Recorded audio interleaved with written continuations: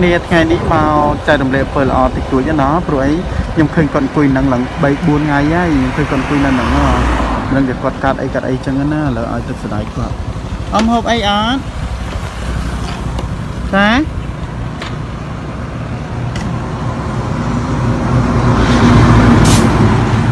អមណែខ្ញុំឲ្យអមហូបទឹកស្ដាយផ្អែមមួយទៀតហ្នឹងណា